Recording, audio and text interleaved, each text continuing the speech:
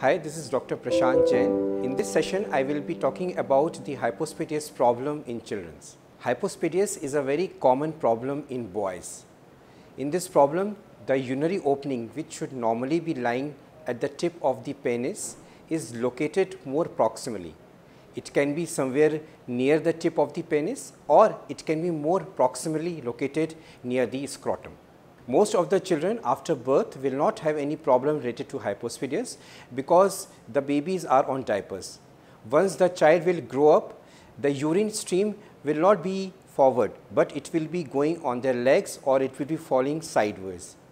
Also, sometimes in the cases of severe hypospadias, the penis can have a bend and then they can have problems during the Uh, procedure of sexual intercourse in future. The aim of treatment of hypospadias repair is that the urine should be falling in forward direction. The bend of the penis should be corrected and so that it is straight during erection and the penis should look as normal as possible. A very mild form of hypospadias may not require any treatment, but the hypospadias which is distal or which is lying somewhere in the mid of the penis will require a surgery called as urethroplasty.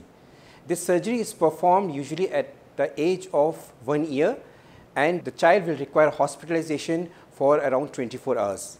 In cases of severe hypospadias, the surgery will usually be done in the two stage. In stage 1, the bend of the penis is corrected and after a period of around 6 months, the second stage procedure is performed.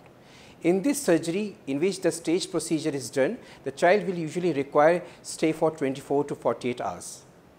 To know more about the disease, you can visit our BLK website. Thank you.